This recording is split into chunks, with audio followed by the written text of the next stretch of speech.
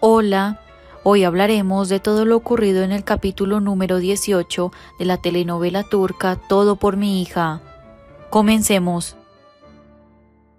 El capítulo de hoy comienza con Melek. Ella está sentada en el sofá y ve que Sengi sale de la casa. Melek se va a la habitación donde Zul está durmiendo y toma su teléfono. Ella se va a la cocina y llama a Zeynep. Ellas logran hablar solo un poco y Zule le quita el celular a Melek y cuelga. Zule le grita cómo se atreve a llamar a esa mujer madre y entonces ¿quién es ella? ¿Nadie? Zule muy enojada le dice que acabará con esto de una vez por todas. Ella toma a Melek del brazo y le dice que se pongan sus zapatos. Rifat sale y le pregunta qué pasa, pero Zule solo toma a Melek y ambas salen de la casa. Rifat recibe una llamada de Zeynep. Él contesta y le dice que llegarán un poco tarde, pero que ya llevará a la niña para que la vea. Sengiz estaba escuchando la conversación de Rifat y se da cuenta de todo. Rifat abre la puerta y Sengiz le reclama y le dice que lo único que hizo fue darle la espalda. Rifat le dice que tenía planeado contarle todo y que incluso le dará parte del dinero, así que lo piense, pues este será un buen negocio en el que todos ganan.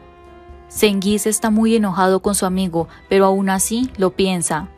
Rifat le muestra a Sengiz todo el dinero que ha recibido de la maestra Zeynep y Sengiz lo toma para él. El celular de Rifat suena y Sengiz contesta. Él le dice a Zeynep con quién está hablando y le advierte que de ahora en adelante todo lo que tenga que ver con Melek lo discutirá con él. Zeynep está sorprendida y le dice a Sengiz que ella solo dio ese dinero para la comodidad de la niña.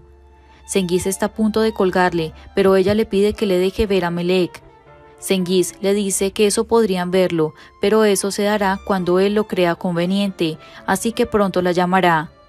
Él cuelga la llamada y le pregunta a Rifat dónde están Zule y Melek, y Rifat le dice que ellas salieron hace mucho tiempo.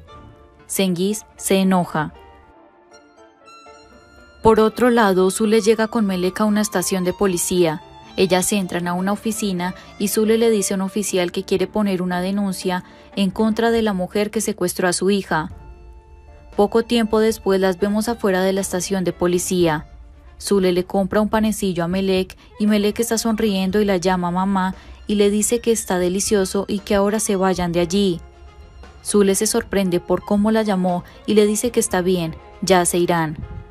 Obviamente, Melek está fingiendo ser la hija que Zule quiere ver. Zule y Melek llegan de nuevo a la casa de Rifat. Sengi sigue enojado y nota el cambio de Melek, que ahora le sonríe a Zule y la llama mamá. Ellas se van a la cocina y Zule comienza a preparar tostadas francesas para Melek.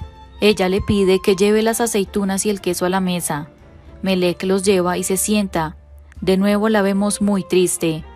Zule se acerca a la mesa con las tostadas y el té ya preparado.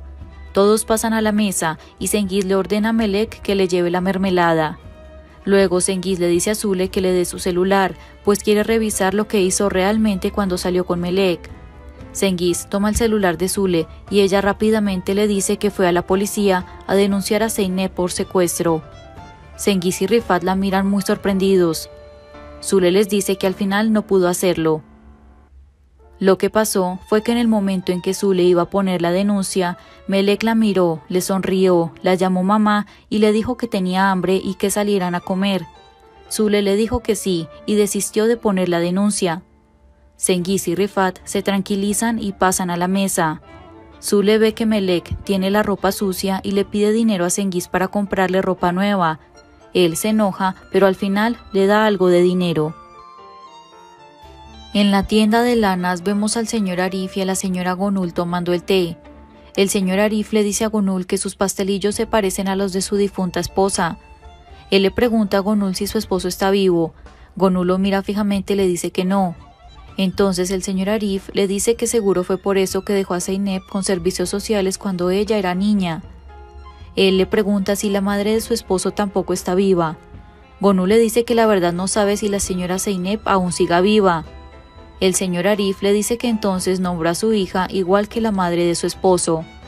Gonul lo piensa, se siente un poco mal y le dice que la disculpe y se va un momento.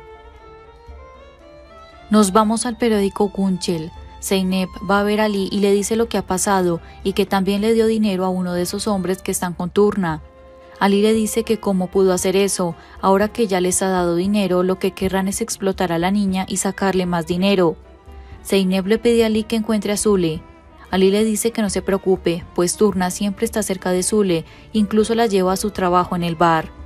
Zeynep se enoja y le pide la dirección del bar, pero Ali no se la da. La escena cambia a la mansión de Kajide.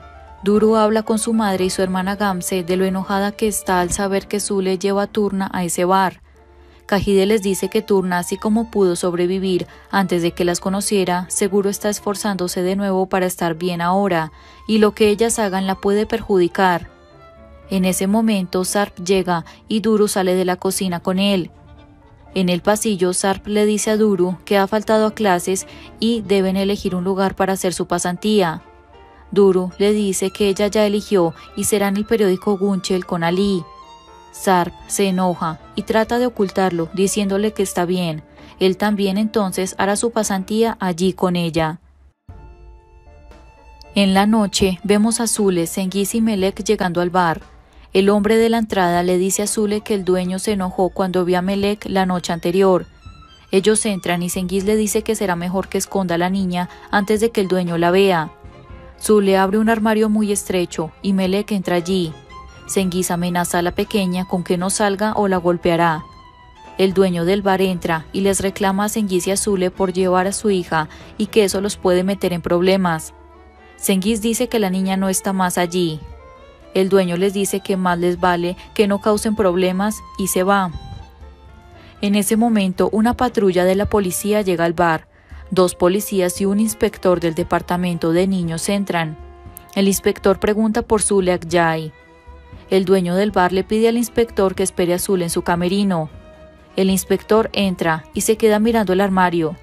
Zule entra corriendo y él le dice que están investigando aún la desaparición de Melek Akyay, su hija. Zule le dice que Melek no está muerta, está viva y con ella. El inspector le pregunta entonces dónde ha estado la niña estos últimos días. De repente Sengiz entra y saluda al hombre. Él le dice que justo lo iba a contactar para decirle que Melek había vuelto a casa y que ella había escapado. El inspector le dice que si la niña escapó, ¿por qué motivo lo hizo? ¿Y dónde estuvo todo este tiempo? Sengiz le dice que escapó porque la niña es malcriada y no le quisieron comprar un conejo, por eso se fue. Ellos le dicen que Melek está en la casa de un amigo. El inspector les pide la dirección y Sengiz se la da. El inspector sale con sus hombres del bar.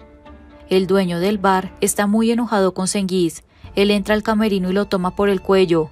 Le dice que le hizo perder todas las ganancias del día y que tiene hasta mañana para conseguir ese dinero, que son 30 millones.